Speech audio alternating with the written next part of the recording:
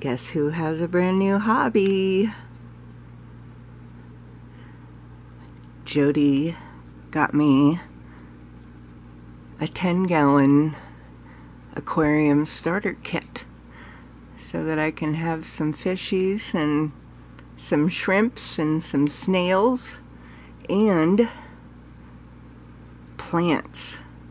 Oh my goodness, there's a whole nother world of plants. Underwater gardening. I cannot even wait. It's really, really cold right now, so I'm afraid to have any shipped here. So I'm gonna go see what I can find that's nearby. And I will plant those up first, but I definitely wanted to get a video because I've already changed the landscape in this a whole bunch of times.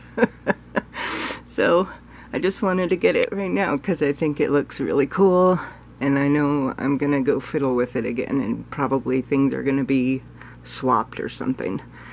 So anyways, how fun is that? I'll do another one soon. Uh, we have snails on the way, so I'll have to introduce them. I'm excited.